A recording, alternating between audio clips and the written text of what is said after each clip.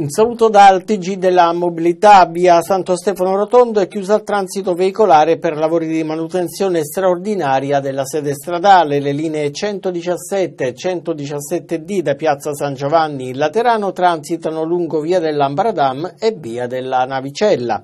Sospesa la fermata in via di Santo Stefano Rotondo lavori stradali notturni e modifica la viabilità anche in via Ostiense dalle 22 alle 6 tra l'incrocio con via delle Sette Chiese e il sottopasso di viale Guglielmo Marconi.